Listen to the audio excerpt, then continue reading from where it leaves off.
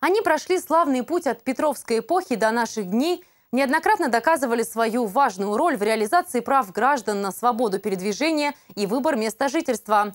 На днях подразделения по вопросам миграции органов внутренних дел Российской Федерации исполнилось 300 лет с момента образования – Накануне начальник регионального управления МВД России Олег Яковлев совместно со своим заместителем Сергеем Сахаровым и представителем Общественного совета при МВД Ольги Кузьминой в рамках акции «Гражданский мониторинг» осуществили проверку организации работы отдела по вопросам миграции, который осуществляет свою деятельность на территории Ненецкого округа.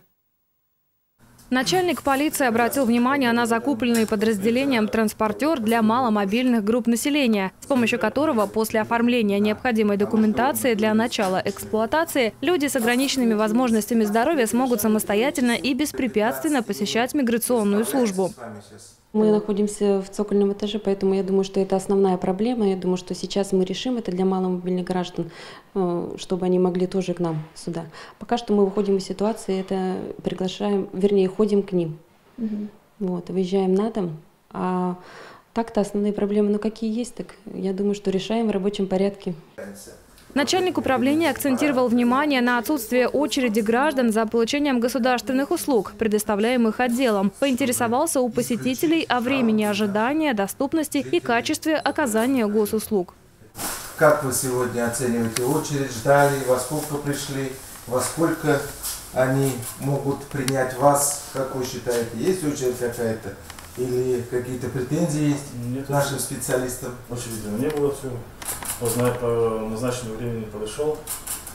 Кроме того, проверяющие осмотрели информационные стенды, на которых размещена актуальная информация режима работы отдела, разъяснение порядка предоставления государственных услуг и требований к оформлению необходимых документов с приложением бланков образцов заполнения, а также контакты для оказания помощи гражданам. В завершение проверки Олег Яковлев отметил профессионализм сотрудников отдела по вопросам миграции, обратил внимание на корректное и вежливое обращение с гражданами. Добавлю, что сегодня в отделе по вопросам миграции окружной полиции свою службу несут 32 сотрудника. Мы предоставляем 21 государственную услугу.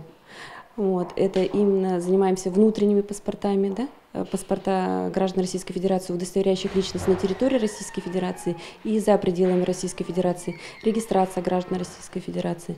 Дальше у нас идет миграционный учет иностранных граждан, выдача патентов для осуществления трудовой деятельности, разрешение на временное проживание – видов на жительство. Также мы реализуем государственную программу по переселению соотечественников в Ненецкий автономный округ. Угу. Вот это основные. Ну и, конечно, контрольно-надзорные функции иностранцев выявляем, которые незаконно находятся на территории округа. Чествование сотрудников регионального отдела по вопросам миграции состоялось сегодня в здании окружной полиции. Сотрудники были отмечены заслуженными наградами. Ирина Никешина, Владислав Ткачев, Дмитрий Лукевич, телеканал «Север».